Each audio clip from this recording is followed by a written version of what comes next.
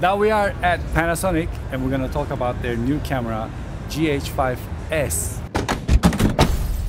Hello. Hi there, how are you? I'm well, how are you? Good. What can you tell us about GH5S? What is different from GH5? What we have here is a camera that, although it looks like the GH5, it is, and in the outside it is, that what we see internally is completely different. So we have a camera that's really designed for uh, video, almost exclusively video. Video. Uh, since the GH5 came out, Yeah. we have two new introductions: the uh, G9, and the G9 was really designed more for cine, I mean, excuse me, for stills, and then we have the GH5S, which is really designed for video. Yeah. So we've sort of taken a lot of the ideas from the GH5 and segregated into two. The GH5 still continues, but this is really for the videographer. Yeah. We're working with uh, a, a different sensor, Uh-huh. uh, and that technology uh, allows us to get much, much better uh, capture in low light.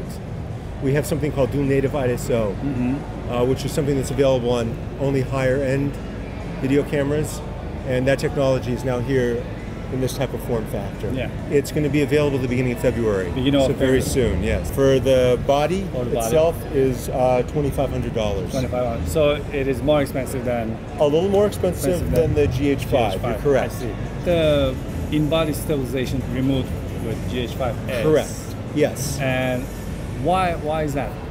because in-body stabilization in in this type of used in this type of video is not helpful. It basically gets in the way, and I'm this is a little beyond myself as a PR guy to answer that question. Uh-huh.